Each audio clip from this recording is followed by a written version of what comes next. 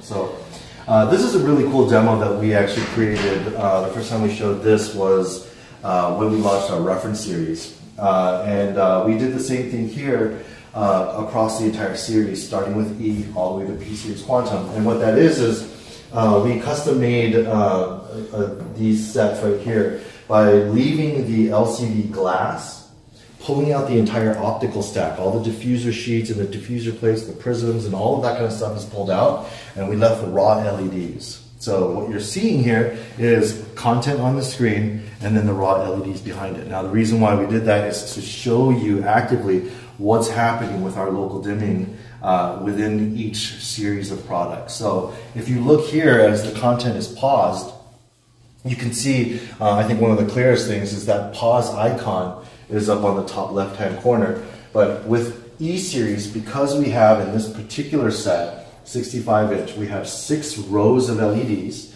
and we have two columns. So this is a 12 zone system. So this top right hand zone is actually off because there's no content. The left top is on because of that pause button.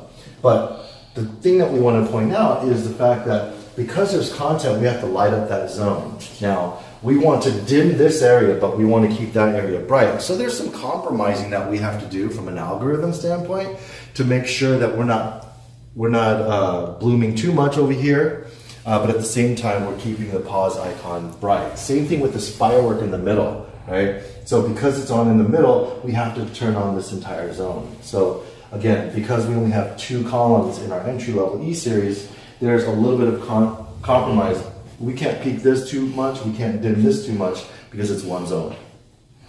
In M series, there's less compromising that we have to do because we have four columns. Now, this particular set, the 65, has 10 rows by four columns, so there's 40 zones of local dimming.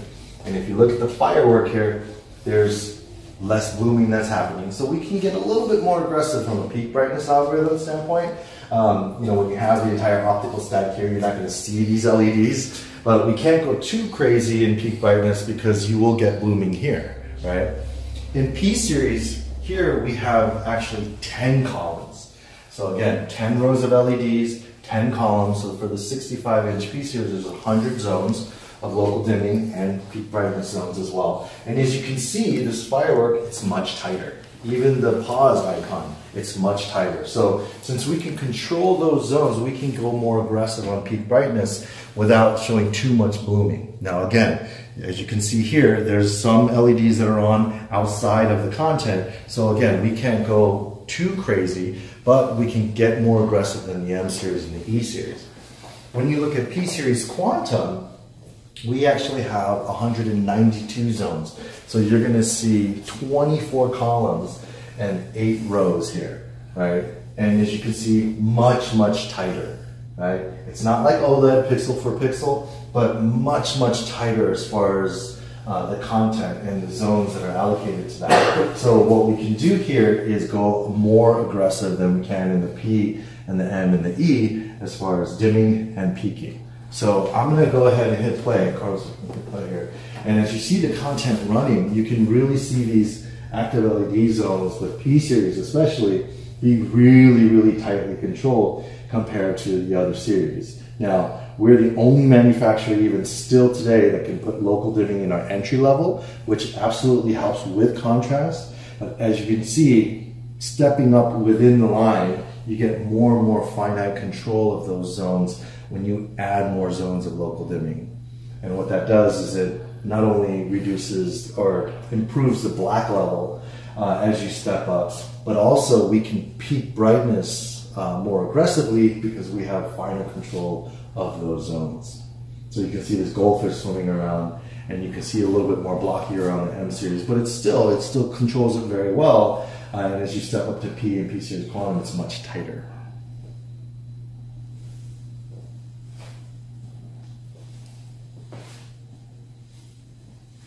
Very cool demo. Really made for video here. it's like finally a YouTube video that actually communicates something.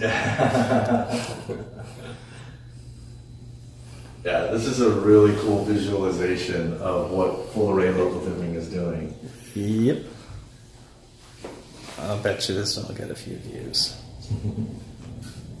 Great. So this really has been the heart and backbone, really, of our PQ, PQ story, of our picture quality story, for you know five or six years now. Right? We've been supporting uh, full array uh, and local dimming, even in our E series. You know, back five years ago. And you know, this is just a good visualization as we you can see starting from E series all the way up to P series quantum, really how we control those zones and to maximize the picture quality as you step up in the line. Thanks for watching. If you like this video, give it a thumbs up, leave a comment, and be sure to subscribe to this channel.